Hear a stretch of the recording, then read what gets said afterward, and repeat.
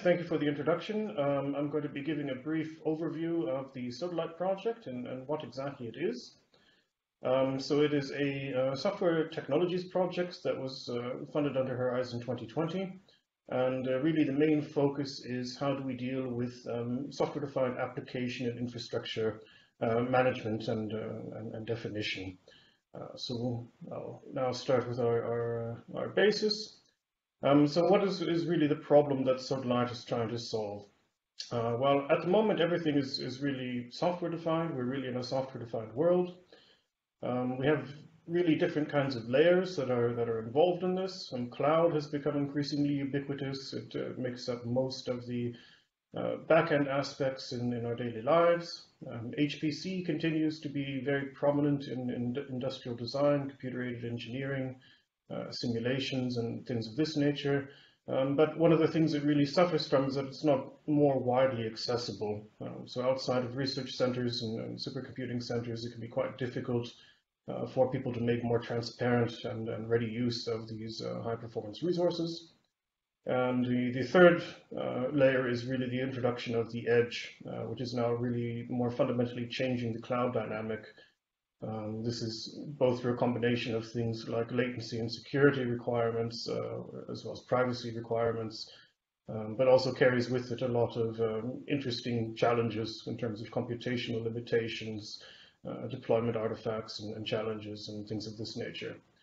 So as an application developer, um, it's really difficult to really make use of all of these in a, in a transparent way. Uh, not to mention, you don't necessarily want to have to codify every single possible configuration from the infrastructure side within your application, um, as this, of course, may be subject to change. Um, so where does Sodalite come in? Well, the main solution that Sodalite provides is it's basically a set of tools to enable the simpler and faster deployment uh, and modeling and, and, execution of these applications um, across heterogeneous resources. Uh, so this is um, really looking at all of these different aspects of deployment across HPC, uh, cloud, as well as edge, and uh, different software-defined computing environments. Um, so how does this uh, solution look in practice? Well, the main parts is that we have really two actors that are involved in the system. One is uh, the infrastructure modeling, and the other side is the application modeling. so in this case, we have two different key actors. One is really the infrastructure operator and owner that really has the insights into the underlying infrastructure and can provide uh, modeling for that particular infrastructure. Um, the other side is the application developer, who of course has a, a more profound understanding of the application and, business logic that has to go into their uh, into their application. Um, so one of the key things that um, provides is an IDE uh, where an application developer can go in and begin to codify some of these requirements uh, from the application side. Uh, from that, they can then also drive uh, these different infrastructure models um, that are available as well. Um, and in the end, we end up with the integrated uh, model that contains both aspects of the application requirements as well as the infrastructure deployment patterns. Uh, and this, the key part of this is that the patterns for the infrastructure deployment are something that are uh, fairly independent of the underlying model, which means that it's something that can be adapted and deployed onto various types of infrastructure uh, during the runtime of the application. Uh, the next layer is the runtime parameter framework. Uh, so this is really looking at a lot of the uh, runtime optimizations and, and, other things that can be done to the system. Uh, within the IDE itself, uh, there's a, some assistance in terms of the definition of the application logic, um, in terms of the uh, semantic ontologies and, and, things of this nature, which makes it easier for application developers to uh, move forward defining the things that they need. There's also a native optimization library, uh, which provides a number of static optimization points that can be applied for the different kinds of resources uh, that may be available. Um, however, the real value of Sodalite is that a lot of these are uh, not just statically defined within the application definition, um, but are also rolled out um, during the runtime. So if we look at Sodalite as a solution, uh, so the key thing is, well, a lot of this could theoretically be dealt with with traditional infrastructure as code modeling. And that's true. However, that really only covers the infrastructure aspects. The thing that's uh, fundamentally missing in traditional uh, infrastructure as code is that we do not have a combination of this definition together with the application requirements. Uh, so a key challenge is that when these things are deployed, of course, we need to understand not just the infrastructure state, but also the application needs, the environment, uh, and these things need to be assessed contextually in determining what sort of deployment um, is really possible. Um, in terms of uh, the repeatability and versioning, uh, this is also important, both in terms of auditability and regression testing and other aspects. So the combined models of the infrastructure and application side are, are versioned and stored, and these can be deployed directly into CI and CD pipelines for, for continuous testing. Um, beyond that, we have assistance for the IDE for the developer, as in terms of having uh, different patterns and different kinds of uh, semantic systems in terms of the definition. This makes it easier for them to get the help that they need in defining uh, the overall models. And uh, then the key aspects of the runtime are really in the automated optimization. Uh, so this includes a runtime monitor um, that looks at the infrastructure state, and based on the changes that are occurring, it can uh, automatically trigger redeployment. Um, beyond that, a big part of the way how the optimizations are managed are through a set of uh, different containers that can be deployed for the same uh, for the same service uh, into different uh, heterogeneous infrastructures.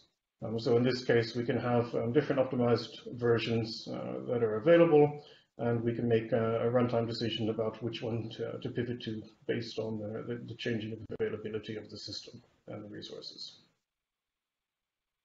So what are the key benefits um, of this approach? Well, the, the, key thing is that it gives us really uh, a lot of flexibility and openness in terms of the types of infrastructure that we use, where we deploy, um, increased simplicity for the application developer, not really needing to really understand the underlying details of what uh, infrastructure is available. Uh, the, key thing is they want to make sure that their application requirements are met.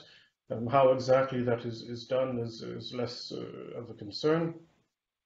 Um, similarly, we can avoid vendor lock-in. Uh, we have three use cases within the project, and each of these use a, quite a different application stack and completely different uh, deployment patterns. Uh, so, and then besides that, also uh, many of these are performance centric. So there are cases where we really have to be on an HPC system. There are big kinds of cases where we really have to be on an edge system, um, simply from a latency point of view, um, as well as cost reduction. So if we can do something in, in uh, one tenth of the time on an HPC system compared to running on a similar cloud system, uh, of course, this can, can translate into real savings as well. Uh, so to go a little bit into the use cases, uh, the first use case that we have is uh, the water scarcity use case. Um, so this is a, a, very interesting use case. Uh, the challenge is, of course, that um, water as a resource is, is, finite, and it's something that's becoming increasingly contended. Um, and the challenge here is that, well, there's a lot of mountains that have a lot of snow, and they provide the vast majority of the fresh water for, for the planet. So how can we basically keep an eye on the snow and the melt uh, on these mountains over time uh, based on publicly available imagery? Um, so what this use case does is it basically looks at publicly available images of, of mountains and analyzes it uh, for the snow content, and from this it tries to develop a, uh, a predictor in terms of the amount of water availability. Uh, so the interesting part of this use case is that it's not um, just a pure GPU problem. That has a fairly complex data processing pipeline that at various times can be CPU bound, GPU bound, or IO bound. Um, and beyond that, um, they do not necessarily know what kind of infrastructure it's going to be running on or deployed in. Uh, so these are the sorts of things that need to be abstracted away and dealt with by the system. Um, so how does Sodalite um, solve this problem? Uh, well, the main value that, uh, that Sodalite can bring is that it's already possible now to increase the number of images that can be processed. Um, so this also can improve the accuracy of, for the prediction. And this is mostly achieved by the uh, runtime reconfiguration and application of optimizations as uh, the processing goes through the pipeline in the different stages. Um, besides that, it also continues to provide the requisite requirement uh, for the deployment flexibility, uh, which is also central to this use case. In the second use case, we have uh, the vehicle IoT use case. Um, this is another challenge that focuses more on the cloud and edge dynamic. In this case, we have uh, an edge, uh, which is happens to be the vehicle, um, and we have uh, the cloud, which is the basis for most of the services that are deployed into the vehicle. Um, the problem, of course, is that uh, this carries a lot of risk um, in terms of the types of services that can be modeled and, and deployed. Uh, when we look at safety critical uh, or vehicle essential services, these are things that uh, typically need to be run within the vehicle itself. Um, and this is in contrast to things like infotainment services, which could be uh, delivered purely from the cloud. Uh, so this sort of decoupling and determining of uh, what to run where is something that's becoming much more important in, uh, in connected vehicles as, as we go forward. Um, so the key challenge for this use case also is not is because it isn't a vehicle. The, the cars, of course, move. Uh, so this means that the cars drive across country borders and so on which means that uh, provision services that are available in the vehicle also have to deal with the changing uh, requirements for privacy, for security, uh, as well as compliance of the national uh, of the national legislation, uh, depending on where the vehicle happens to be at any given time. so this also creates a lot of challenges for the uh, for the application developer. Um, but the other aspect then is, well, given the limitations of computation that we have within the vehicle, um, how can we make sure that we use that for things that are really essential for the vehicle uh, in order in terms of keeping drivers safe?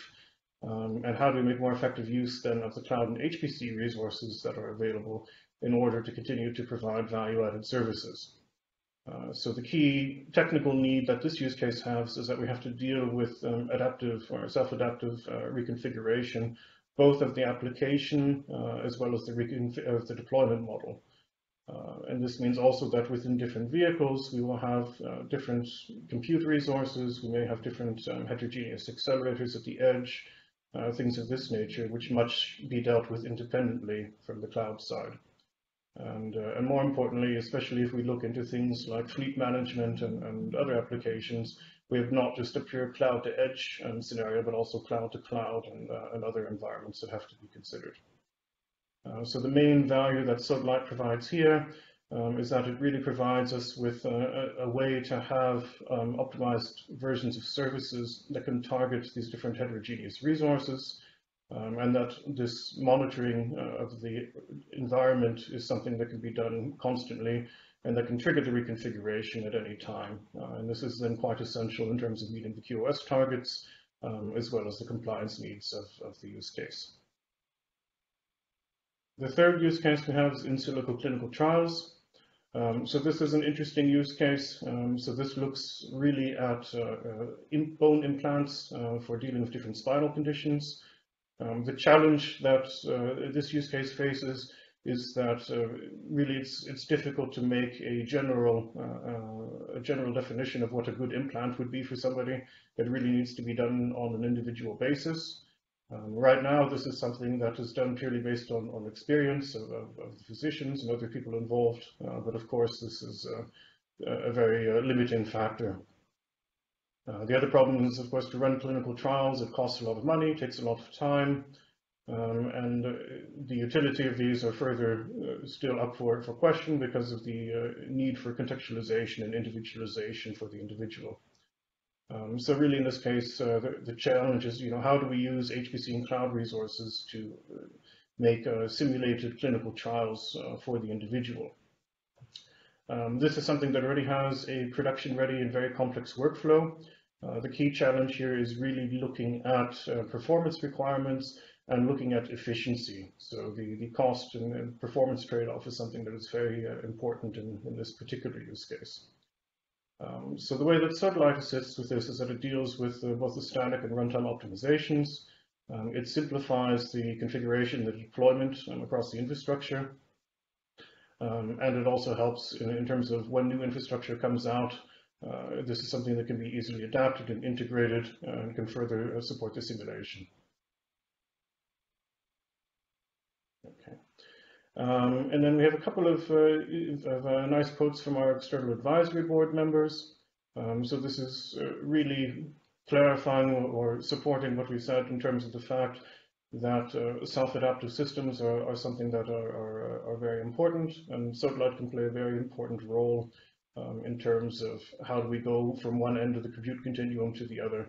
Um, and this is something that gives us a, a, a, real advantage in terms of the next generation of applications um, that need to be uh, able to be run in different kinds of environments without being uh, too tied or aware of the underlying infrastructure in which they're deployed. So the consortium of the project overall is, uh, is fairly well distributed. Um, we see Cray two times because, of course, of the uh, of the uh, of the Brexit situation and the merger into into HPE, um, and we are coordinated by XLab. Um, and yes, I think that's that's fine.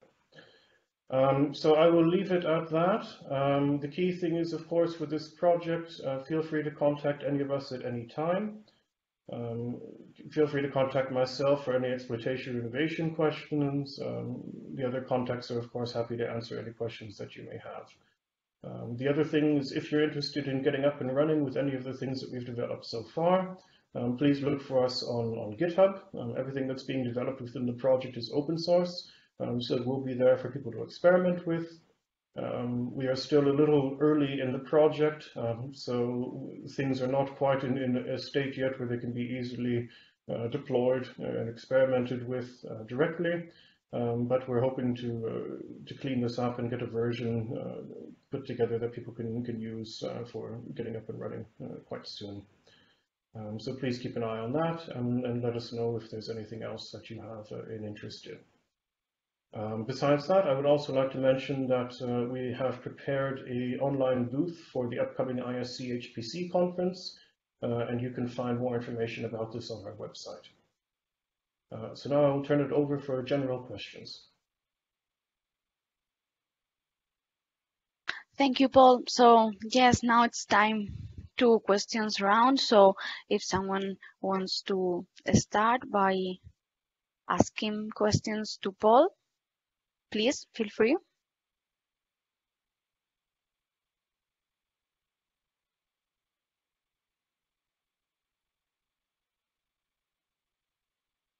Okay, so maybe I can start. Um, uh, Paul, thank you very much for, for the very good uh, presentation. Uh, I'm João Costa from XLab. Uh, I'd like to ask you, um, what uh, do you think, in your opinion, uh, is, the, is the impact uh, of these results uh, and how they, they will um, can, can scale out in, in, the industrial scenario? Well, I think one of the, the, the, key advantages is really the how we do the infrastructure as, as code definition and the, and the modeling. Um, so this is something where at the moment, because you don't have a mechanism where the application logic can be codified, it really limits uh, the sorts of things uh, where you can deploy and, and how you can make sure that when you are running on a particular infrastructure that the application requirements are, are really addressed. Um, so I would say at the moment, a lot of the, the, the code modeling focuses more on the mechanics of, of the underlying infrastructure and less about whether that particular combination is the only thing that can really satisfy the application uh, constraints or not. Um, so by combining these two into an abstract model, it gives us the ability to, to see, determine whether there are other resources that can be swapped in and out uh, to deal with uh, or to make sure that the application requirements are still met uh, while providing increased uh, efficiency and cost effectiveness for the workload.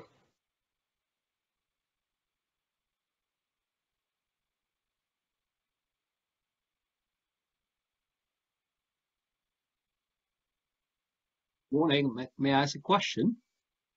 Yes, please. Uh, thank you for your presentation. My name is Karim Djemame from the University of Leeds in the UK. Uh, my question is to do with the use of self-adaptation. What kind of methodology did you actually implement? Um, so we, we did this in two different ways. So within the vehicle IoT case, uh, we have uh, basically a, a, MAPE-K model that we use internally uh, for driving the reconfiguration within the application logic. Um, so the application uh, that's deployed there, it has multiple things that it can do um, to reconfigure itself within the vehicle. So that may mean that um, because we're crossing a border, for example, uh, we suddenly need to turn on or off um, communications with certain backends, or we may need to turn off um, certain functionalities. Um, so for example, driver monitoring, if we're looking at biometric data, and then we deal with a border crossing situation, then we either need to pivot uh, the point of processing of that data uh, or try to push it back down to the edge and, and deal with it in place to avoid uh, the case of, of uh, transferring biometric data across borders. Um, the other case is uh, within Sodalite itself, we have another um, adaptation uh, layer that looks more at the at the infrastructure level itself. Um, and this is, is a, a very similar uh, very similar to the MAPE model where we are monitoring the runtime and based off of this uh, we make some some analysis and then we make a, a plan for the redeployment which goes to the orchestrator and this then produces a, an optimized blueprint which is then executed. So these are the, uh, I would say, the key the key points. Thank you. There's a knowledge base, of course, in, in the middle of that, which uh, keeps track of all of the deployment facts and and and, uh, and the environment. So, so. It, it seems to me that it's very much also a, a monitor, uh, analyze, plan, and execute. You you keep you have a sort of uh, continuous loop that looks at what is happening both at the infrastructure and the application. Exactly. So it's, it's really, you can think of it as a sort of a hierarchical set of, of MAPE K loops. Thank you. Okay, more questions? I have another one, if you may. Yes, please. right, I'm, I'm also interested in the in HPC from the from the infrastructure perspective, from the hardware perspective. So I could see that you are considering traditional CPUs and SIMD-like resources like GPUs. Mm-hmm. Uh, have have you or will you be considering, for example, heterogeneity in terms of FPGAs as well, or is it something that you feel is outside the scope of HPC? It's really de- de- dependent on the use case requirements. So the two that we have right now that are leveraging the HPC resources are, are more traditional GPU problems. Um, so they tend to be using the GPU clusters that are available within the, the systems that we have. Um, within the edge case, we are using a variety of accelerators. Um, so we have uh, uh, basically um, the edge TPUs are one thing. We have embedded GPUs. Um, we also have, uh, we've also done some experimentation with FPGAs, uh, mostly for acceleration or hardware acceleration of, of OpenCV using programmable logic. Um, but this is something that is more on the application side and that is not really um, dealt with within the uh, Sodalite framework directly. Uh, so it's a bit more agnostic of the underlying uh, accelerator types, and it's simply up to us from the use case point of view um, to define the different kinds of optimizations that can be applied and to generate the different container runtimes that can support these different accelerators. Thank you. Okay, so more questions? We still have time.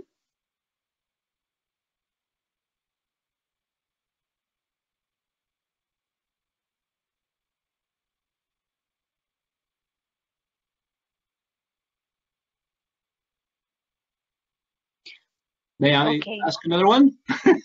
yes, Karim. it's very very interesting that again, looking at what is happening in the in, in, in the arena of, of, of, HPC, and I could see that uh, you are also uh, uh, having Cray uh, as as uh, as as part of the, um, the sort of consortium. Um, is there is there any say vision move in the next maybe two, three years in what we call exascale HPC. Because there is a lot of, of course, work at the moment to get ready for not HP, well, for, for the next stage, which is basically exascale HPC. I'm just, again, I'm just curious about uh, what are you, the views of your partners on this? Um, unfortunately, I cannot speak for, for Cray or Hewlett Packard Enterprise on, on their exascale strategy, so this is something you would have to ask them directly. Um, it, it, certainly has not been a factor within Sodalite um, as we are not really looking at uh, system scalability on, on the HPC side as, as a focus. We're dealing more with how do we deal with the application codification and, and deployment and, and, uh, and the reconfiguration of this. So I think in the third year, uh, which will be next year, we're going to look a lot closer at um, basically the application performance monitoring and, and looking at, uh, at these sorts of aspects. Um, so we should have a, a, much better idea of the kinds of improvements uh, that can be realized with this kind of an approach. Um, but certainly in the uh, water scarcity use case, for example, they're already seeing that uh, with this kind of approach applied, that they can already improve uh, quite a lot of their performance. Now, will this scale to exascale? I have no idea. Um, once somebody builds an exascale system and gives us an account, I think uh, we'd be happy to try it out. Hmm. Yeah, yeah this is it's interesting because the because of the the use case always being driven by potentially more and more resources, uh, you are making use, of course, of, of, of, the existing HPC resources, is that the, the, the, the vision in the next few years is that you could see exascale as in itself as a service. And because of the nature of the disruptive applications that span from, say, an HPC data center to a cloud data center to an edge and finally to an IoT layer, is extremely interesting, especially in terms of workflows and workflows management. So uh, again, maybe there will be a call on this in the next few years, and uh, keep I'm, an eye on that. There will be, yes. But I think one of the, one of the interesting aspects um, on the HPC side is, of course, it's a very valuable resource. Um, so you don't want to be tying it up unnecessarily if you don't have to. Um, this is quite important also in terms of, the, of, of cost and performance. So there are some workloads that will do really well um, using an HPC resource, uh, uh, something that's embarrassingly parallel, for example, that could run quickly to completion um, and, and be much faster and more cost effective than doing the same thing in, in cloud. Uh, within our use case, uh, for example, we look at this in, in the context of machine learning models. Um, so in the vehicle IoT case, uh, for example, uh, we have a, a, base model in TensorFlow that has to be trained. and at the moment, uh, to do this uh, in cloud takes uh, takes several days. Um, so if we can do the same thing on, on HPC within within a matter of, of minutes, uh, then of course this is something that uh, becomes much more attractive uh, from an online training point of view. And that completely changes um, the kind of dynamic. So now instead of your model being something that's fixed that you'll only update really infrequently, it's something that we can really look at um, whenever there's enough data available, uh, does it make sense to go and, and cut a new release of, of the base model? Um, and then from that, this is something that can go into cloud uh, for, for basically continuous delivery down to the edge, uh, where we have to look at how do we develop uh, or new containers uh, that take this retrained model and then apply the, the transformation uh, that's needed to these models to apply them into the specific container runtimes for those specific accelerators uh, before that gets pushed down then uh, to the edge devices for, for inference or whatever else. Very interesting. Thank you. Thank you, Karim, for your questions. Okay, so if uh, there is no more questions, I think that we can we can close this webinar and I would like to invite you for the next one. There is no information already uh, on the website, but it will be soon. So we will inform you uh, through our website and our social media channels. And hope to see you there next time. Thank you very much.